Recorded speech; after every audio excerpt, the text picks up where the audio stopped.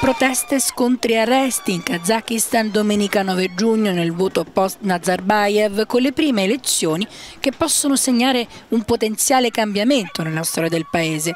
Almeno 500 i manifestanti fermati, secondo quanto ha dichiarato la polizia, trascinati via per i piedi da agenti e caricati sui pullman.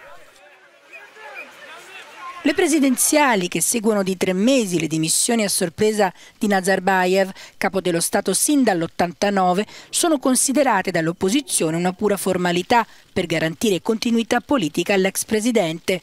Infatti i primi exit poll danno già una preferenza che supera il 70% al delfino designato di Nazarbayev, qui intento al voto, il diplomatico 66enne Jomar Tokayev.